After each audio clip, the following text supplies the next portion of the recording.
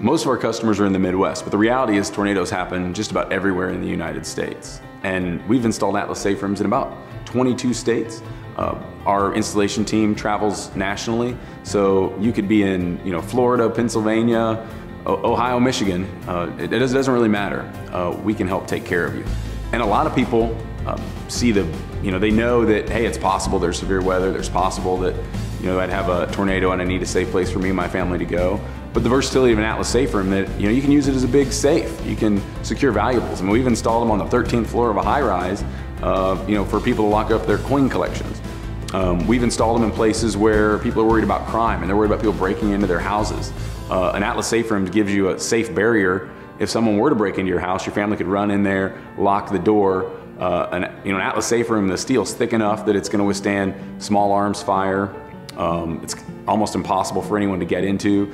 Uh, so your family runs in there, closes the door, calls 911, and has a safe place uh, to be until you know police or emergency services shows up. So not just for the purposes of you know having an EF5 rated tornado shelter, there's also the huge benefit of just having a safe place to go no matter what kind of danger there is.